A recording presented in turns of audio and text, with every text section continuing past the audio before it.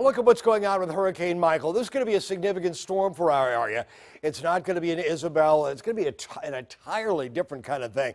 Uh, some wind, uh, very strong winds, quite likely on Friday morning, and also some rain Thursday night, which could be quite, quite heavy throughout the area. But that'll be quick. I, I think the wind really could create significant power outages uh, through the area. Want to show what's going on.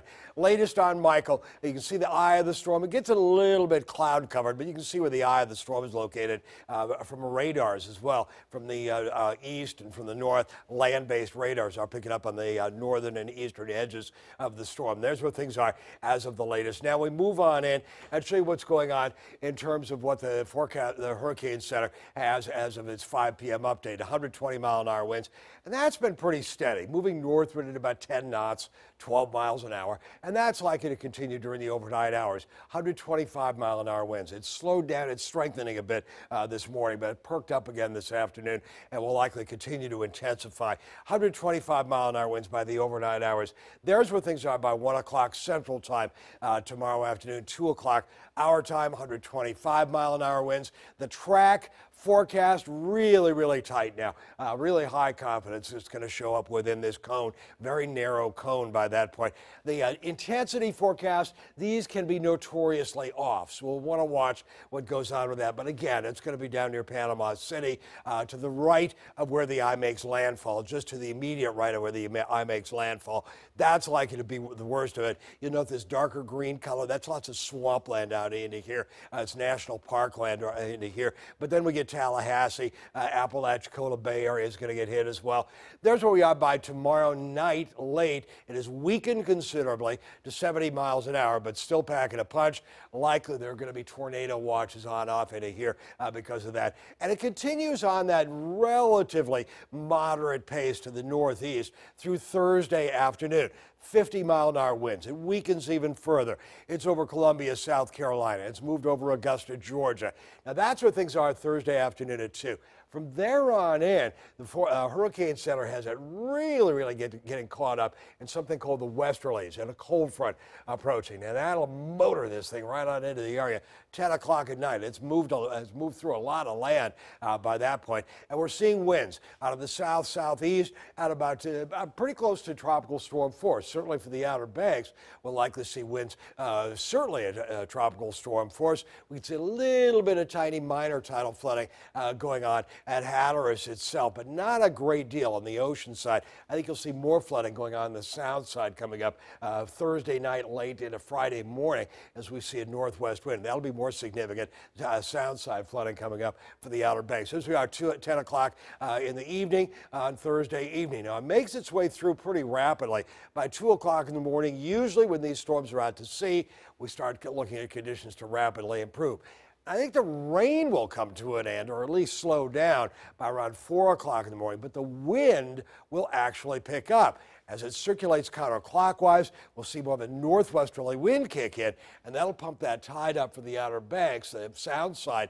But also, these winds are really, really going to be strong. Very, very strong wind. Uh, uh, 65 mile an hour winds right at the ocean front. I think even in town uh, during the morning hours on Friday, we'll see 50 mile an hour winds, even over the land, well inland. Uh, so again, we're looking at really strong winds on Friday morning. By Friday afternoon, the winds back off. Storm is moving way way on out to sea. And there's where things are coming up by Saturday and on into Sunday, moving on away. Now, take a look at the uh, specifics on what, and then we're going to show you what's going on uh, with the storm more to localize. Some rain, but, but the big rain Thursday is going to be the evening hours. Wednesday looks fine. Thursday, most of the day looks fine. See a little bit more rain, but nothing really, really big. I think the big rain starts in the evening, lasts through the overnight hours, and then starts to taper off by around 4 o'clock in the morning. That's the way things are looking for right now. So the rain should end early in the day on Friday, but we'll likely see at least 50, 60 mile an hour winds on Friday morning. From around 4 o'clock through around 11 o'clock in the morning. So this would be a significant wind into the area. We could see uh, numerous power outages, scattered power outages, especially near the water, near the bay and the ocean front coming up on Friday morning. And also driving in 50, 60 mile an hour winds, eh, that's kind of questionable coming up on Friday morning. So little to no impact, some impact or high impact. Uh, some impact, heavy rain, three to six inches of rain in six to 10 hours. It would be Thursday from 7 to 8 o'clock, more likely a little bit later than that, more toward 9, 10, through around 4 o'clock in the morning. That's a lot of rain, but it moves on through quickly and then it moves on away. Tidal flooding, Outer Banks, yeah, a little bit. Albemarle Sound areas. Uh, again, I think we'll see some sound side flooding for the Outer Banks coming up on Friday morning early. Might see a little bit of flooding uh, Thursday coming up uh, near the Albemarle Sound with that southerly wind pushing the water on up into those areas on Thursday and Thursday night. And damaging winds. I think that's going to be the biggest impact. North northwesterly winds at 50, 65 miles an hour, gusting even higher at times. And that'll be Friday from around 4 o'clock in the morning through around 11 o'clock in the morning. Tornadoes now. Doesn't look like it. Uh, that's that big, big a risk. Here's what's going on as far as rainfall all the way through Thursday evening. Not that much. Starts to pick up, though, a little bit by the end of the day on Thursday. Uh, so not big. Now we move on into Friday morning. This forecast model is called the RPM, and it's a higher resolution model. It only goes into Friday morning at 7. It's got too much rain. I think it'll be more in the neighborhood of 4 to 6. Certainly a significant rainfall for the area. Not 7 to 8 inches of rain, but I think 4 to 6 inches of rain. Lesser amounts farther southward into the south side. And I think the south side, uh, we could see 2.5, 3 inches of rain into the south side, especially Suffolk and points inland. And, and it's moved it a little bit farther south. It has been wavering in between about here and then on down into here in terms of that band of heaviest rain. And earlier it had that four to six inches right on through here up toward the eastern shore. Now we go to the GFS, and the GFS forecast model has been the model of choice on this one uh, for some of the rainfall. And you can see three, four, five inches of rain. I think this is pretty good right on through here. 2.78 inches in Norfolk, two inches, inch and three quarters here uh, in terms of where this storm is going. Now we take you into the into the future with the uh, uh future track computer model and show you what's going on. Uh, and we're going to show you. Uh, we're taking a long time to show you this, but why not? here's what's going on. Our crew isn't loving it. They're away from their dinner break. 84, 85 degrees coming up for the day tomorrow. Yada yada. Nothing real, real big. Okay, now we move on into Thursday. It's kind of the same thing. Nothing real, real big going on for most of the day. We could see a little bit more rainfall coming up at the end of the day and likely be in the mid to upper 80s as some tropical air starts working its way on in.